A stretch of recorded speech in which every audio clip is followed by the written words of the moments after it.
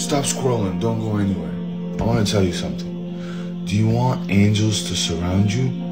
Well, here's the easiest way. The angels have not been given the gift to recite the Quran. They can only listen to it. يَسْتَمِعُونَ إِلَيْهِ They just listen to it. There's only a few angels that Allah subhanahu wa ta'ala has given the gift for them to be able to recite the Quran. When you start to recite the Quran, the angels will surround you. In the Quran al-Fajr, kana mashhuda. The angels witness that. The angels love to surround the people who recite the Quran because they can't recite it. Only Jibril and another few angels could.